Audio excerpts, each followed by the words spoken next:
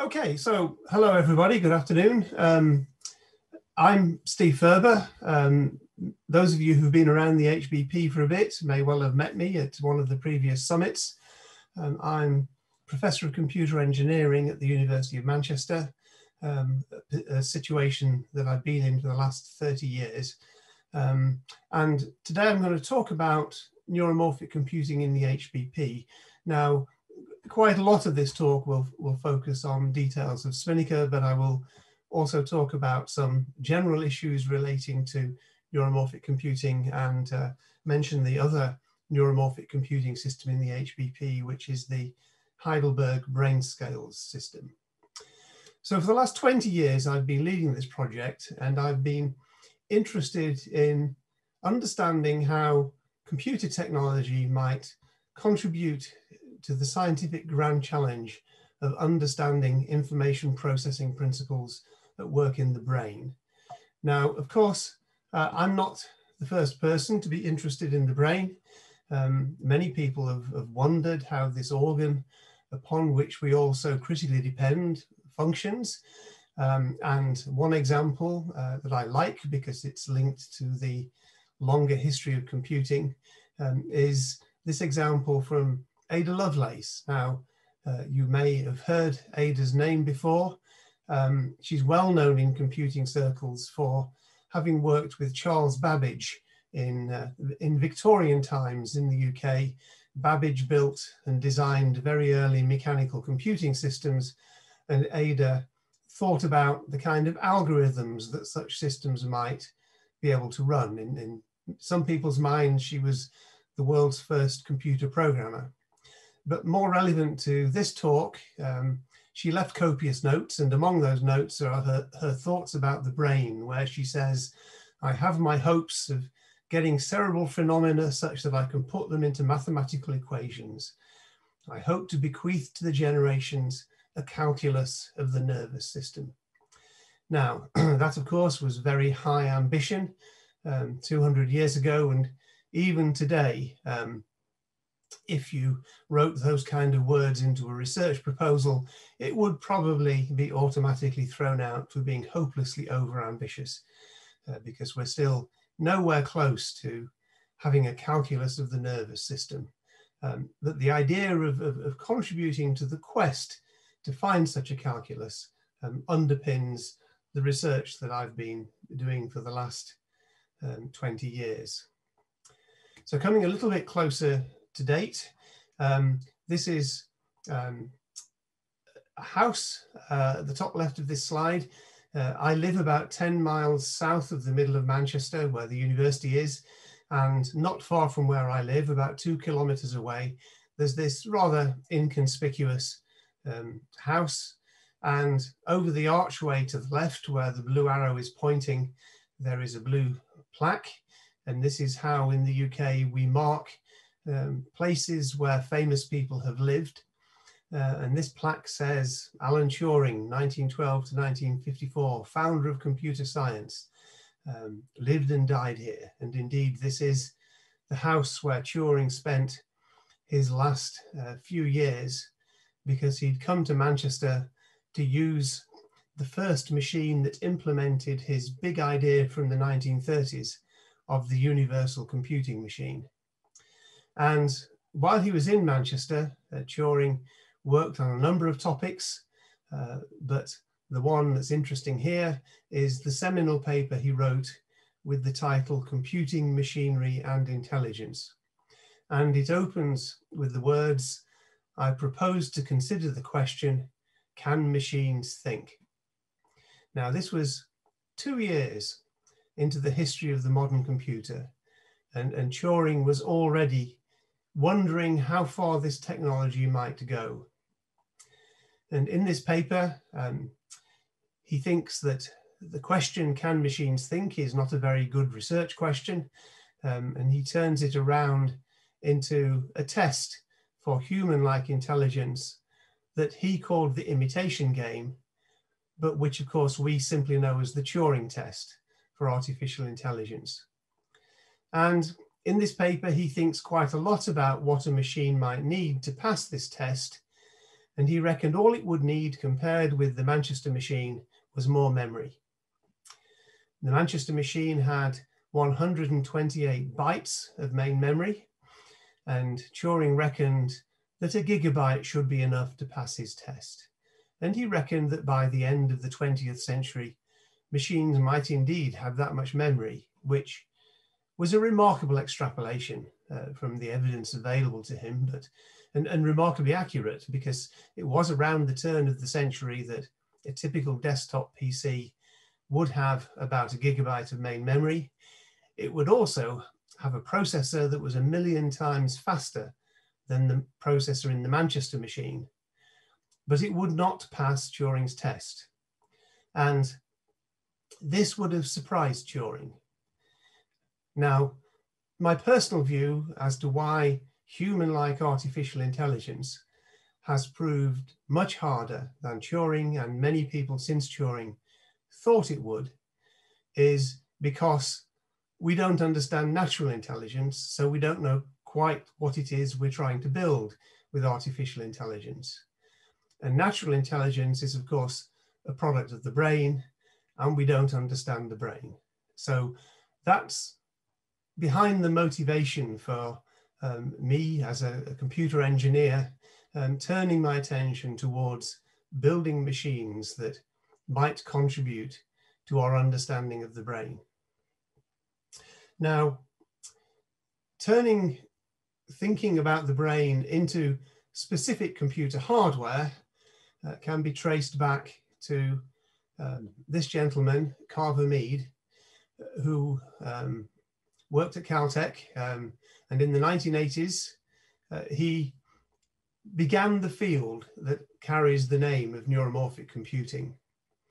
And he was very interested in the analogy between the equations that govern the flow of ions in the ion channels in a biological neuron and the equations that govern the flow of electrons in standard transistors operating in their subthreshold region. The subthreshold region is the region of transistor operation that we digital designers simply call off.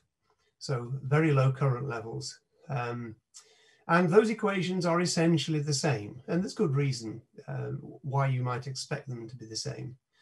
And, and uh, so he proposed this area of building analog electronic circuits that behaved in ways that emulated the behavior of the biological systems. And, and he developed chips that implemented technologies such as, as touch, hearing, and vision. Um, and, and these were well published and, and, and widely read um, in the 1980s. And, and, that really laid the foundation for neuromorphic computing. Um, and people still work in this area of analog circuits, um, but also the area has diversified um, into purely digital systems, as long as the system has some characteristic which is derived from the brain, um, it can have the handle neuromorphic attached to it. Now, if we look at the history of the Human Brain Project, um, it was motivated by three high-level reasons. Um, why should we spend, you know, the billion euro uh, flagship project studying the brain? And the three reasons were, uh, first of all, to understand the brain because it remains one of the great mysteries to science.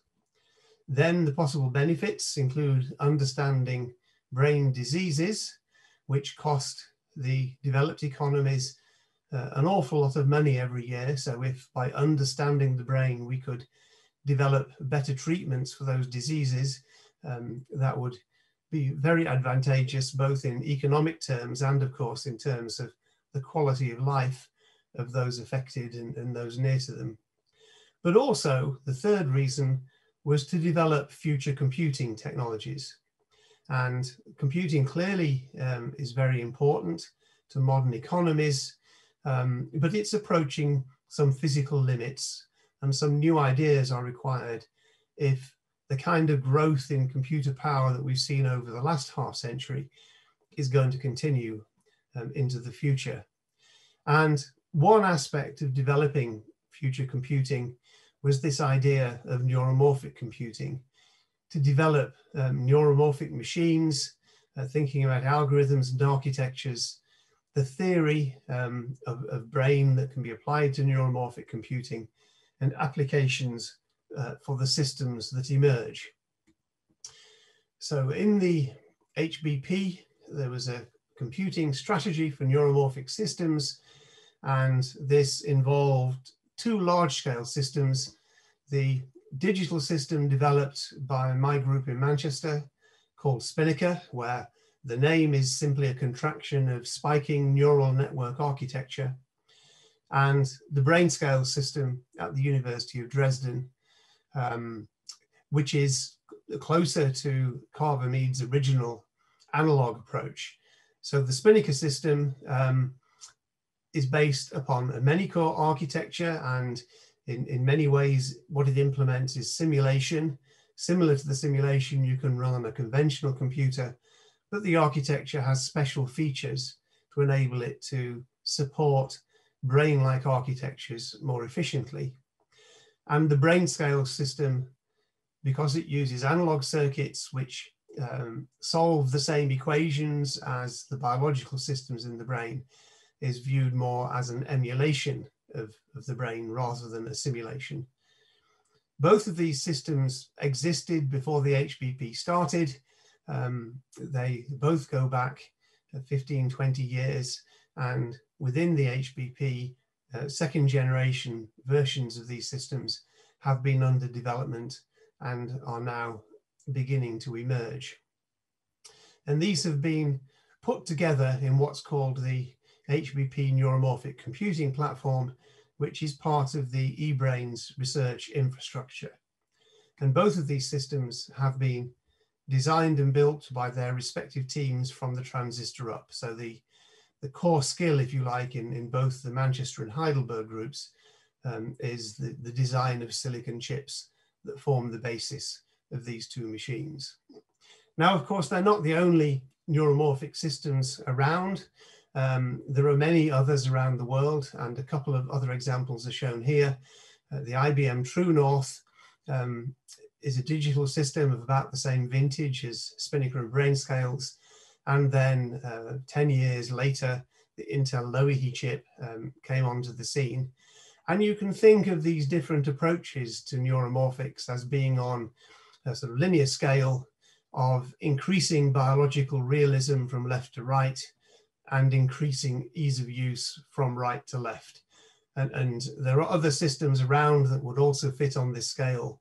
And, and really, uh, the question is still open as to which of these represents the optimal approach to neuromorphic computing. Indeed, it may be the case that, that different systems are more suited to different sorts of, of use and application. Um, and uh, as an area of research, uh, they all have a role to play in this development of, of brain-inspired computing. Now, over the 20 years that we've been developing these systems, of course, the outside world hasn't stood still, and there's been this explosion of interest in neural networks in applied artificial intelligence. And I would say that the HBP neuromorphic systems have been developed primarily to contribute to brain science, whereas externally, deep neural networks have been developed um, to solve application problems. But there are similarities and differences between these two approaches. Uh, this, this slide shows an archetypal uh, neural network where you input something like an image at the left-hand side. This information then passes through many um, neural layers, which uh, have a variety of functions. And then at the right-hand end, there's a classification layer. Um, and the classification layer says the image is a cat. I think that's the popular one. Um, if the classification layer says the image is a dog, that's an error. And you feed the error back from right to left up the network, adjusting potentially millions of parameters until those adjustments cause the network to say yes, okay, it's a cat. Um, and then you move on to the next image.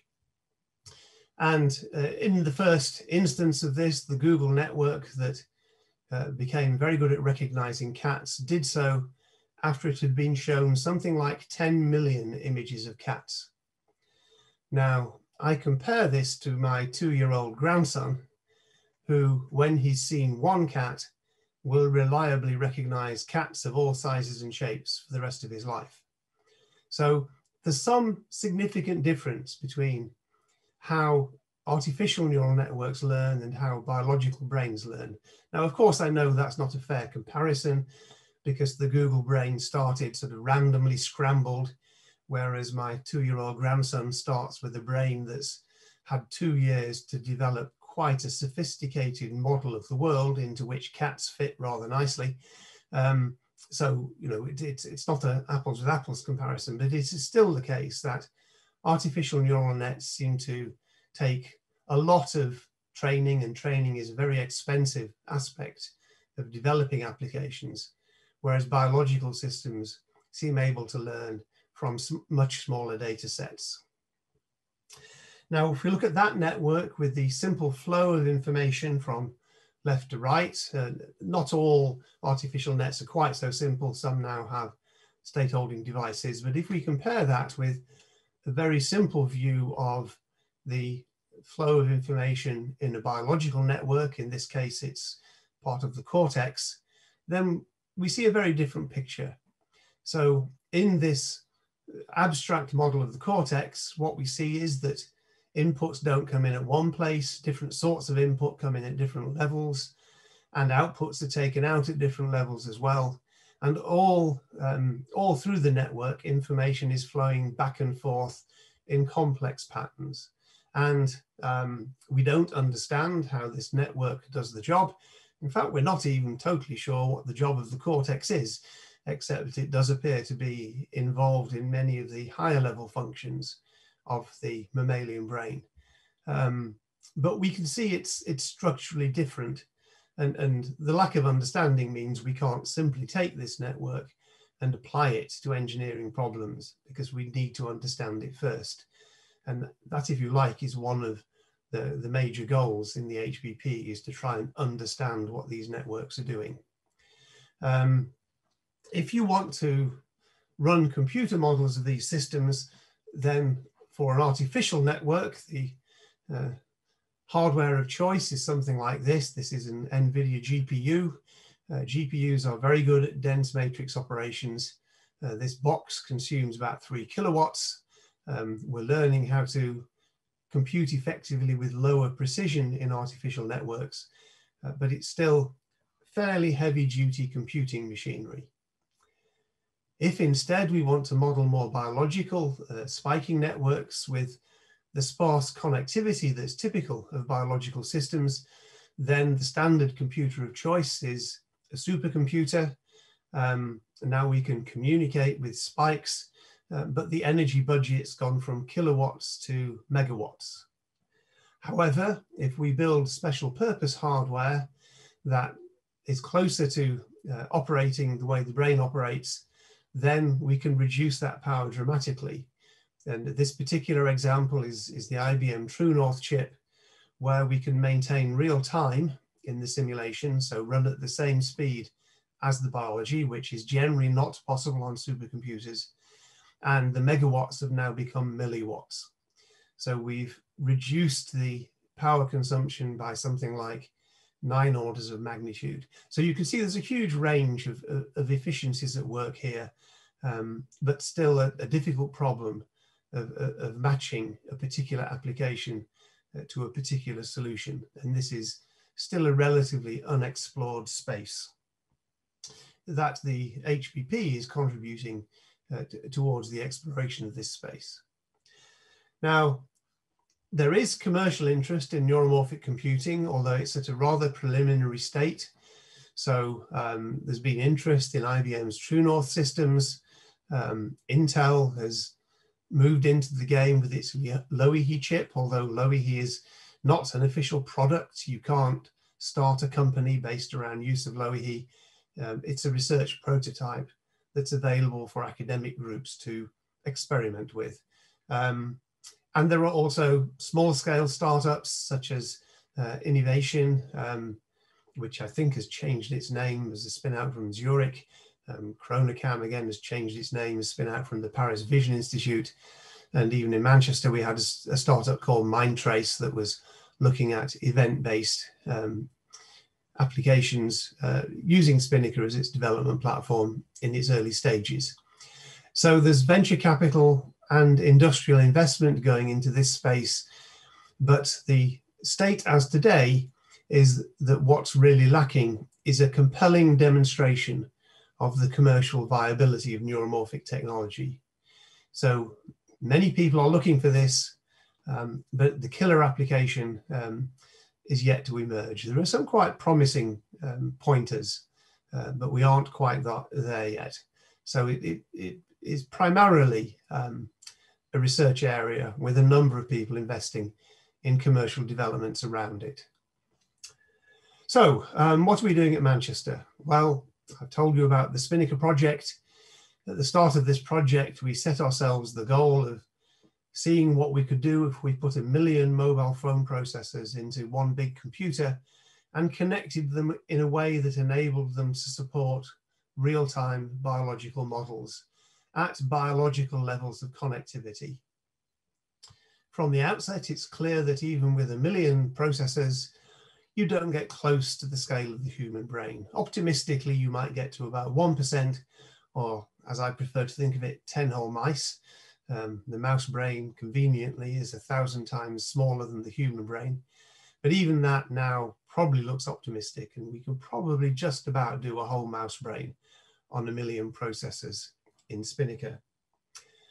We started with the silicon design. That's the core skill in my group. And um, the chip, which is about a square centimeter, took about uh, five years and 40 person years of effort to put together.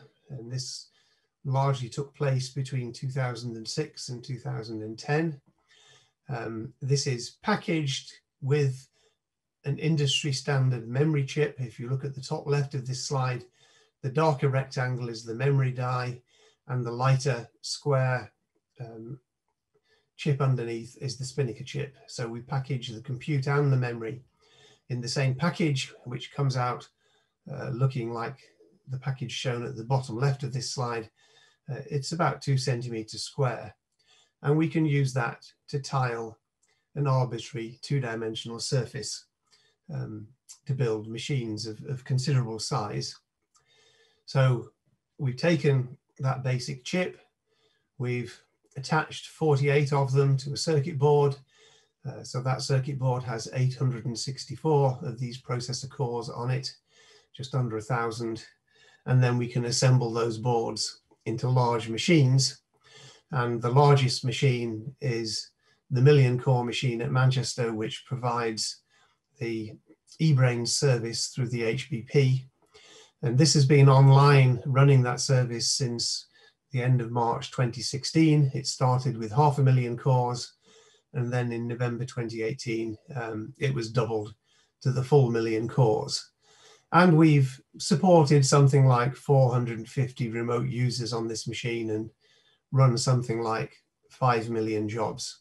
So it's kept reasonably busy um, supporting that service, although it's, uh, it's not overloaded. So if you submit a job, you don't really have to wait um, for the results to come back. The response is pretty much instantaneous. That isn't the only Spinnaker machine. Um, we've been loaning and then selling Spinnaker boards um, to other research labs around the world. And this map shows their current or global distribution. Um, well, it's got most of them on, not quite all of them. There are something like 100 boards in use. Um, about half of those are smaller boards with just four nodes on, which are useful for training and small scale robotics experiments. And about half of them are the larger boards uh, that I've described with 48 packages on. And one of those boards will support a neural network of the scale of a small insect brain. So something like Drosophila um, can be supported by one of those boards. And if you want to go to larger systems, then you need a multi-board system. And some of the systems out there are multi-boards, but the, uh, the only really big one is the one in Manchester. So what can you do with this machine? Well, let's have a look. Um, the target application that uh, informed the design of Spinnaker was to contribute to brain science, so computational neuroscience. And in that area, there have been uh, a number of significant results. Uh, perhaps the most significant recently has been um, the real-time implementation of the cortical microcircuit um, on Spinnaker. And this was the first implementation of that model that ran in biological real time. I think the high performance computing and GPU folk are, uh, are catching up. Um, but we're now in the process of scaling this up to a multi-area cortical microcircuit where um, we expect this will continue to operate in real time. Uh, and it'll just, uh, we scale up just by applying more boards to the problem. So the compute load at any particular processor doesn't go up. We just use more processors and we've got a lot of them. So we can um, scale up to quite large cortical systems through that route. The system isn't limited just to simple uh, static spiking networks. Um, we've also had people use the machine for neuromodulator based experiments, in, in, this case, serotonin, um, looking at uh, uh, simulating serotonergic modulation um, and, uh, and, and more complex phenomena. So that's a couple of examples of applications in computational neuroscience. Um, the next dimension we've pursued is uh, theoretical neuroscience, where Spinnaker can be used to test hypotheses of neural function. And one of the more abstract hypotheses that's emerged is the idea of neural networks that use stochasticity to solve complex problems. Um, in this case, constraint satisfaction problems, where the example here is Sudoku. And uh, is a stochastic network that solves the hardest class of Sudoku problems most of the time in uh, about 10 seconds, um, which is a lot faster than I can do it, but then I don't have the rules of Sudoku hardwired into my brain. And the same approach can be shown to, to solve map coloring problems and Ising spin systems and so on. Um, so that's a fairly abstract uh, theoretical model. Uh, there are also theories of, of structural plasticity, um, and this is uh, our host's work um, on, on, looking at how removing and reconnecting neurons uh, can enable those neurons to, to learn patterns that they see without any supervision.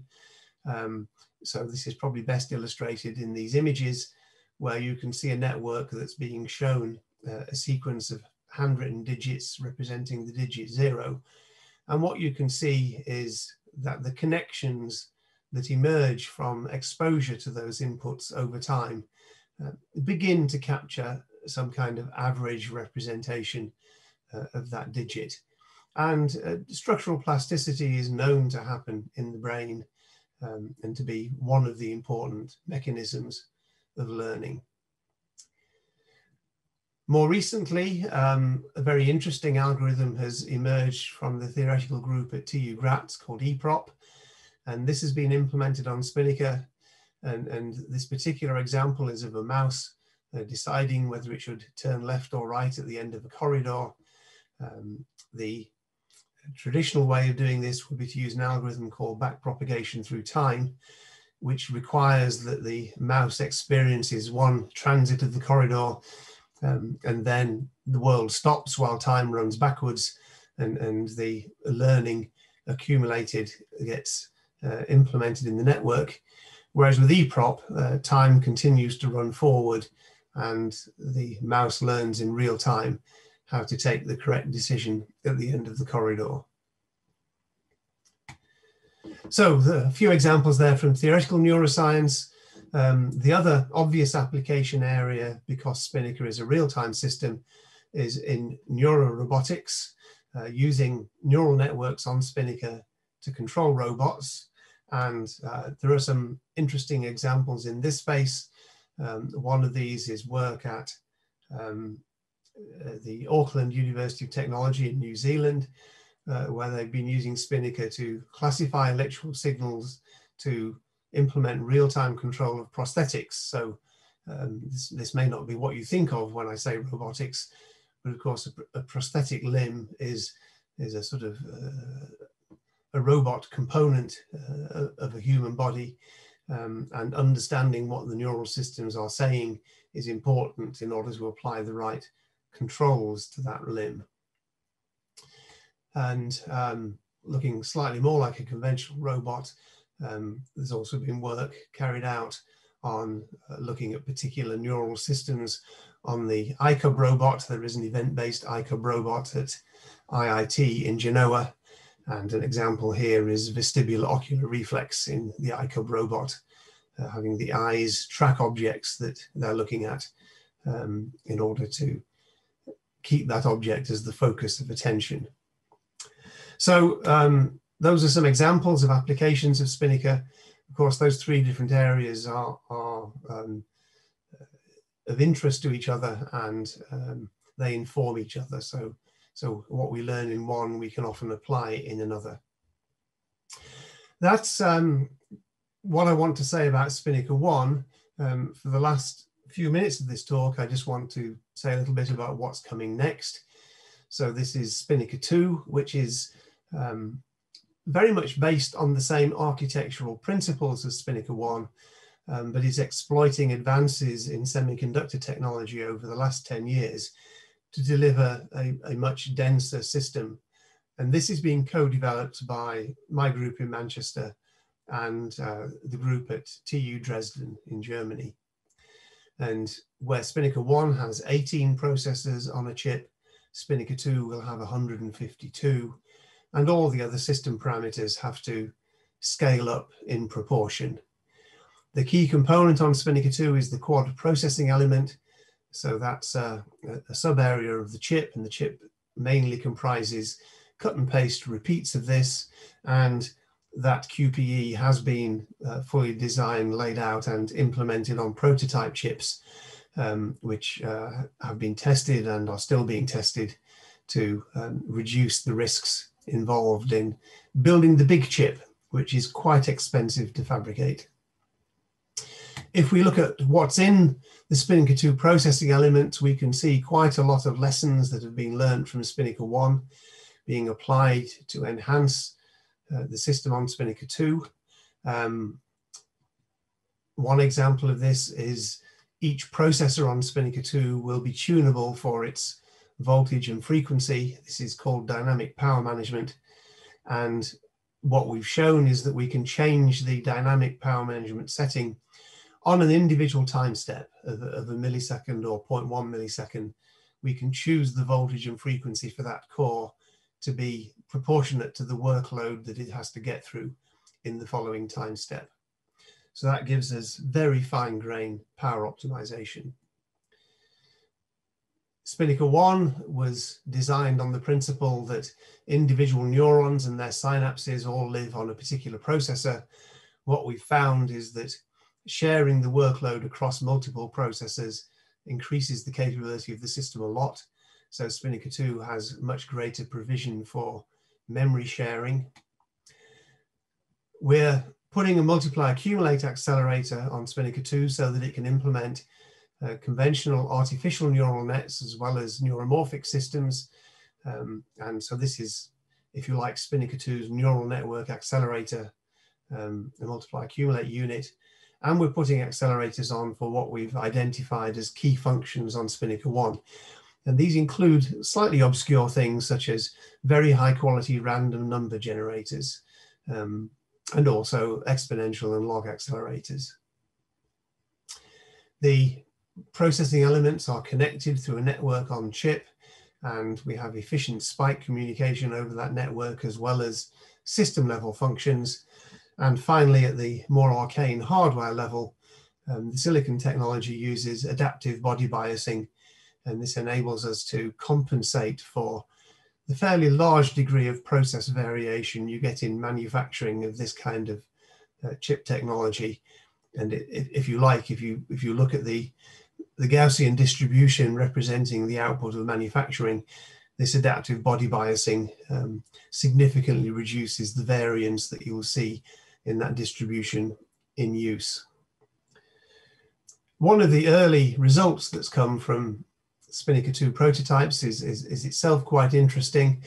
Um, this is another example of synaptic plasticity, which is using um, an algorithm called deep rewiring to find which are the key connections in a standard network, LeNet 300, 100. And what this work demonstrated was that on a, a simple benchmark, um, that close to state-of-the-art accuracy could be maintained in a network where um, 99 out of 100 connections had been dropped. So the memory structure required to hold the connectivity information was reduced from um, over a megabyte to 36 kilobytes. Um, and there was something like 100 times energy reduction for training um, compared uh, on the Spinnaker 2 prototype compared with a, a conventional computer. And I think this, this idea of sparse connectivity is, is going to be quite important um, in neuromorphics, but also in, uh, in general computational modeling of biological systems. Biological networks are always sparsely connected, whereas artificial nets are frequently densely connected. And this is showing that that sparse connectivity um, doesn't necessarily lose you anything as long as you keep the right 1% of connections. You can't keep a random 1%, you have to keep the right 1%. So um, with that, I'll, I'll, conclude what I've been telling you. Um, the Spinnaker system has been 20 years in conception and in fact now more than 10 years in construction. It's quite widely used by research groups around the world. We have achieved the original target of putting a million cores into a machine and we can sustain biological real time across that machine. And the Human Brain Project is supporting uh, software development and offering that machine as a service as part of the eBrains research infrastructure. In parallel with that development, industrial AI has uh, exploded onto the scene using second generation, i.e. non-spiking neural nets. And there's a kind of expectation that these two threads will begin to converge and there'll be quite a lot they can learn from each other. In particular, neuromorphics may have something uh, to offer in terms of radically improving the energy efficiency um, of artificial neural nets. Because Spinnaker is a digital system where neuron and, and synapse models are implemented in software, it's very flexible. So it's an ideal research platform for exploring this space. It may not be the ideal delivery platform for delivering um, applications to end customers, uh, you can probably find a more efficient implementation. But when you don't know what you want, uh, flexibility um, is at a premium. When you do know what you want, it's probably time to go and implement it more efficiently. And in this context, um, Spinnaker 2 uh, will be about 10 times better in terms of both functional density and energy efficiency. And finally, if you want to know more about Spinnaker, um, last year, uh, just as the lockdown started, um, we uh, a book emerged on Spinnaker, which uh, Peter and I, between us, have edited, and many of the Spinnaker team and people outside at other institutions have contributed to this. Um, and uh, th this book presents, if you like, the 20-year history of the project to date uh, including descriptions of, of Spinnaker 2. Um, and this is open access, so if you go and find it on the web, um, the PDF is free to download. And with that, I'll finish and I think um, return control to Peter, uh, who will then marshal the questioning that may follow, I hope.